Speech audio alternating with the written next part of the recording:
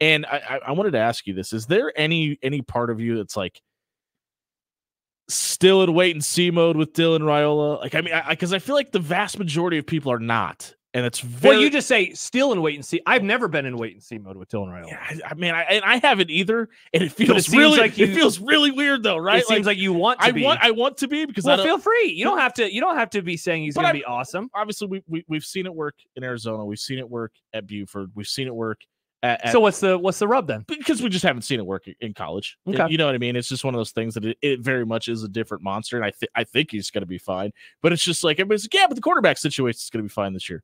Is it? Well, I Do know that. So here's sure? now. I think I, I, think it is, but it's just. Man, like, you don't seem very confident in I, this. Like, I, go on an island. Say that you don't think he's going to be very good. I, I think he's going to be good. I just don't know if he's going to be we don't have to worry about the quarterback position in his first year. Well, you would okay. So let's unpack this. You would agree, I think, that most people think.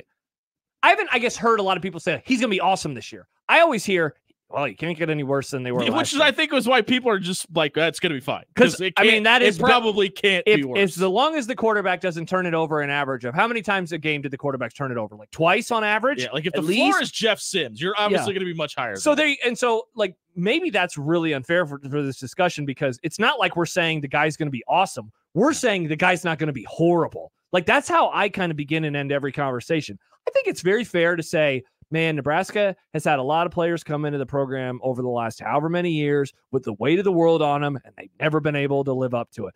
We've talked about Adrian Martinez a couple of yeah. times during the show. Adrian Martinez came in, and this, and and we had him on our show asking him kind of what advice would you give to Dylan Raiola? I've because my show, and you've had him on your show a few times. Um, and when you think back to Adrian, Adrian came in with a lot of hype, yes, yeah, but it was less him as a player. Like when he signed with Nebraska or when he committed to Nebraska, how many players or how many fans rather had ever watched his film? The answer, my guess, would be very, very few. 0.005% of Husker fans before he got that offer had ever yeah. watched his film. Yeah. And so people got excited about him less because of him and more because of the idea. Because, oh, he was the first guy that received a phone call and it's Scott Frost. He must be good. Dylan is different because Dylan's hype Everybody is all based him. off of Dylan yeah. and his and his last name, but well, it's based off of him on his own merits. And so, as hyped as Adrian was, that Adrian's situation is even a little more different too because he had the torn labrum in his shoulder. So even the highlights you're watching were like were his yeah, junior season. It's a couple of years yeah. ago. We're wondering how that's going to unfold and this time around, there is an expectation. Like the, I would, I would say the hype equivalent for Dylan is actually closer to what Adrian had going into his sophomore yeah. year than what he had going into his freshman year. And so I, I, I say all that just to acknowledge, like, look, we have seen guys come in here before with these expectations and never live up to it. And so if you if you want to pause, if you Jimmie Allen says, I want to pause on this, I think that you are very much within your right to do. See, and I, I, think a lot of people like have the speaking of Adrian, like his freshman season when he, I think it was 22 touchdowns he equated for if you count running and passing. If I'm not mistaken, I think it was 15. I think you're right. I think it was 15 and seven. If if Dylan, it just feels like if Dylan Raiola, it was 18 and seven, maybe yeah, 25, sure. Yeah. But it just feels like if you, if you're talking about Dylan Raiola equating for 20 touchdowns, if that defense just doesn't take a step I back, I know, right? That's a lot of wins. And, and, and, you look at the way that schedule stacks up, specifically the, the the, the earlier portion of it, feels like it could get really, really special around here, really, really fast. Chris in Montana texts in. I don't think people are in wait and see mode on Dylan Raiola because who else is in the room? Sure, he could probably win a job anywhere in the country, but it's not like he's got Howard in the same room like Ohio State does, for example. Yeah, I mean, I think there is something to there is less wait and see right now because speaking of Adrian again, he had to come in, and at the time, Patrick O'Brien was still on the roster for a few more weeks as spring ball began. Tristan Obviously, Gebbia. Tristan Gebbia was on the roster, and then some other guys too. So, like, it did feel like a legit competition. I didn't think that he was going to win the starting job going into spring ball. I thought it was going to be Gebbia. See, I, was, I was of the complete opposite volition. Yeah. I, I, didn't. I, I don't think just and and not because of their talent level or their skill set or whatever. I just don't think when you come out and say hey, with this new coaching staff, and the very first call we was made to this guy, yeah. and we got him.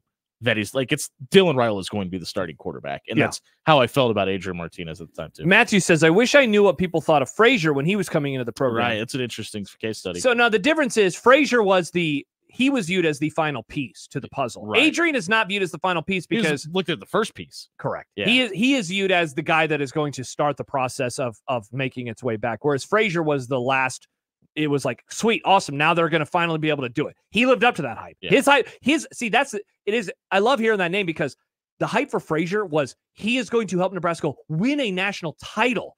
Dylan is not that. John and I had a discussion, I think in December. Man, it would be amazing if he was. But the question was like, what are you expecting from him in his career? And I thought that that was such a great question because as excited as everyone was throughout the month of December, and then he signs, we never really discussed truly what does this mean and what will he do as a player. and I think a lot of that is because of the question marks we still have about Matt Rhule, right? Like it's like we feel like it's headed in the right direction. It feels like there was some momentum at the end of the last season. It feels like they're a quarterback away from getting it figured out, but we don't know that. Mm-hmm. Like there's not to bring up the shoe dropping again, but it just kind of feels like you know we we've seen what it looks like when you go into year two with a ton of expectations and it doesn't pan out. And the residual effect that can have. Now, it doesn't feel like that's going to happen with this coaching staff. Does that mean it absolutely will not? No, but it just it more than likely will not. What what is your big picture question with the program moving in the right direction under Matt Rhule?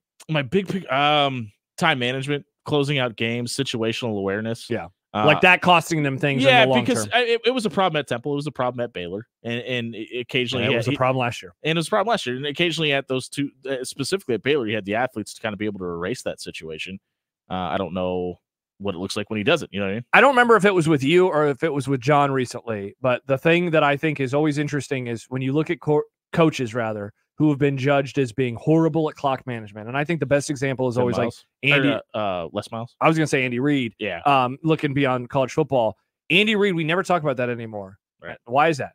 Because I don't His think he got hands are a little better. heavier these days Well, I was just gonna because he has freaking Patrick Mahomes as his quarterback, and like when you have the guy, which makes that- your situational awareness better when you have a guy out on the field that's an extension Bingo. You just said it. You know, when you have athletes that can, you know, maybe make up for deficiencies, you know who else can make up for deficiencies? A really good quarterback. Yeah. And so perhaps he is going to be that person. yeah I, I agree and with maybe the offensive line to some degree too. Not to Yeah, I mean, step look- on your sub- well- subject there, but well, and if you I mean, look, if you you're winning games by 20 points, you know, don't have to worry about time yeah, management. does not matter lot, if you're up right? by forty. If every game goes down Ask to a Ryan touchdown, if every game goes down to a field goal, then yeah, the, the magnifying glass is going to be a little bit closer on everything. sure. But if it's not, then you know it, it only comes up in certain games. And I know I brought up Les Miles a minute ago. I think that was a lot of the problem. Is there was a lot of situations where LSU was blowing people out, and he didn't really have to. So when Yeah. times came up, it was a little difficult for him to manage. Yeah, and he would do some goofy stuff, but yeah, when it showed itself the most, it was in some of those, you know, big kind of uh, situations. I think we're like once we get past UTEP, and if they're able to beat Colorado and they start off two and zero.